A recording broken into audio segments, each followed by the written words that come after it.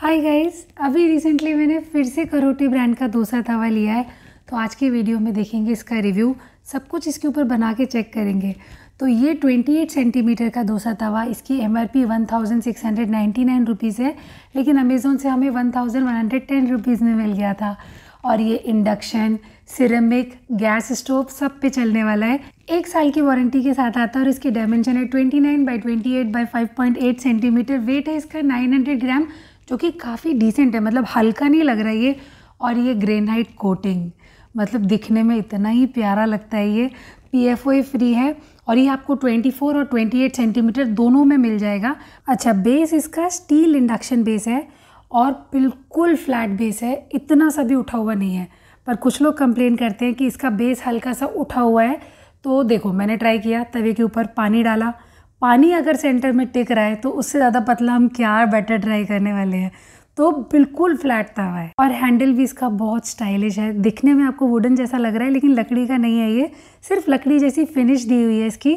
और जितने भी स्क्रू वगैरह हैं, वो सब इसके हैंडल के अंदर है। एक भी बटन आपको स्क्रू इसमें नज़र नहीं आने वाला।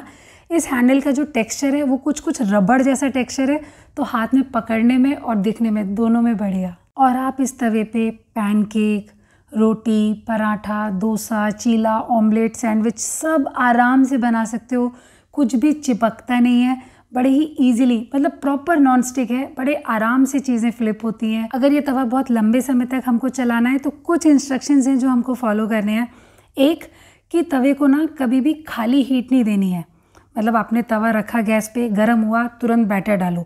ये नहीं कि हाई फ्लेम पे तवा पाँच मिनट तक गर्म हो रहा है। ऐसा करने से इसकी नॉन स्टिक कोटिंग डैमेज हो जाती है। दूसरा, जब हम इसको क्लीन कर रहे हैं तो कभी भी इसको वो जो तारों वाला जूना आता है या स्टील के स्क्रब पैड्स आते हैं, उनसे क्लीन नहीं करना है। सिंपल सॉफ्ट स्पंज से करो या एक टिश्यू से या कपड़े से ऐसे पोछ के भी इसको रख सकते हैं। तीसरा पॉइंट कभी भी डोसा, चीला पलटने के लिए आप चाकू का या जो हमारे स्टील के वो होते हैं ना, पलटे, उनका यूज़ नहीं करना है।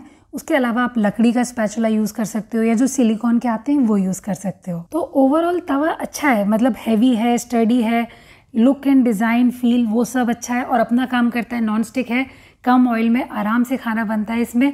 तो आप इसको खरीद सकते हो, अगर आप नॉन स्टिक तवा ढूंढ रहे हो तो ये आपके लिए एक अच्छा ऑप्शन है। अब भी अगर आपको कोई डाउट है तो कमेंट्स में पूछ लेना और वीडियो पसंद आया तो सब्सक्राइब बाय